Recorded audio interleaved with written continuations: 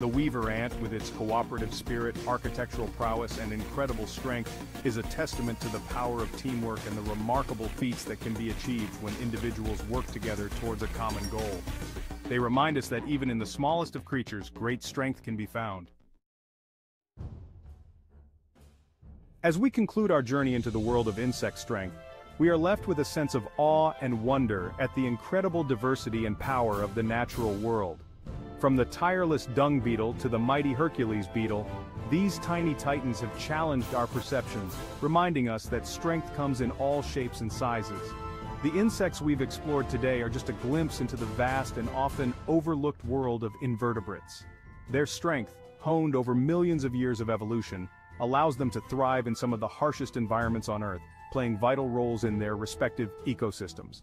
So, the next time you encounter an insect, take a moment to appreciate its strength, its resilience, and its vital role in the web of life.